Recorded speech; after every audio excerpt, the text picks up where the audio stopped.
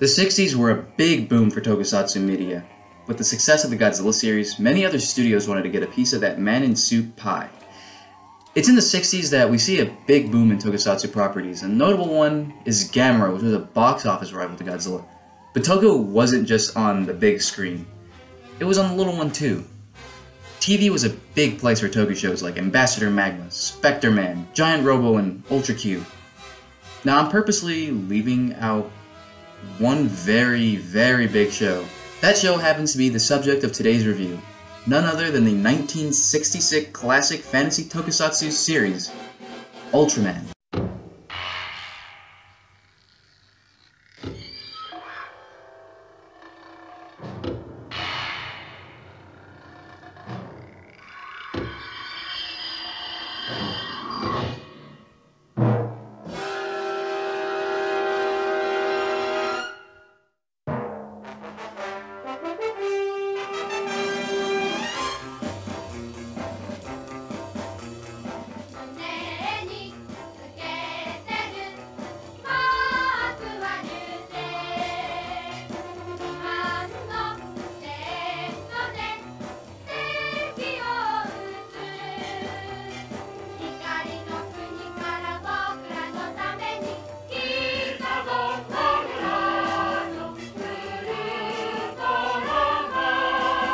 Ultraman was released in 1966 and was the second series of the Ultra franchise, following Ultra Q, but it was the first in the Ultraman series. The show was created by special effects legend Eiji Tsuburaya, who also did the effects of the early Godzilla movies. In a way, Godzilla and Ultraman are brothers.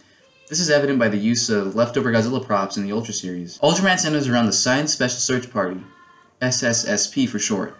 They're also called the Science Patrol in the English dub. As they fight monsters and aliens with the help from our hero, Ultraman. The show features Susumu Kurobe as Shin Hayata, Akiji Kobayashi as Toshio Muramatsu, Hiroko Sakurai as Akiko Fuji, Sandayu Dokumamushi as uh, Arashi Daisuke, and Masanari Nikei as Ide Mitsuhiro. Ultraman himself is also portrayed by a suit actor Bin Furuya.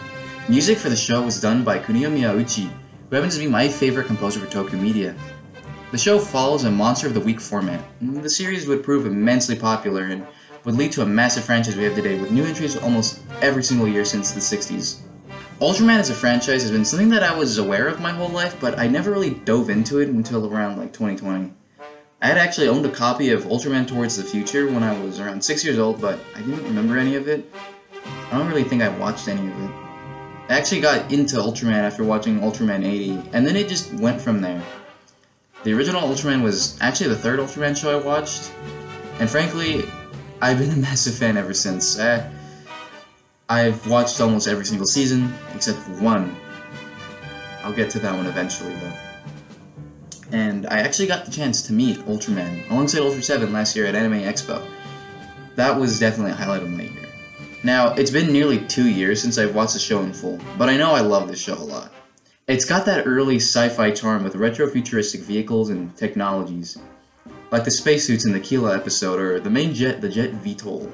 Monster of the Week format lends itself very well to this kind of show, and we get to see Ultraman fight a variety of crazy creatures. Said crazy creatures are actually iconic to the Ultraman franchise and get appearances even to this day, and I love a lot of these original monsters.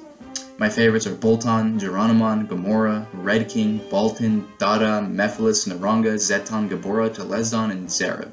That was a lot, but I like them all. Each episode focuses on some kind of mystery which the SSSP must solve, which usually leads them straight into the path of a giant monster or alien.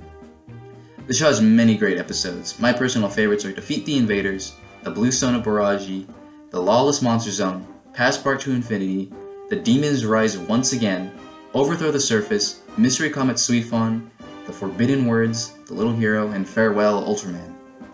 The show has great effects for its time, which still hold up great to today.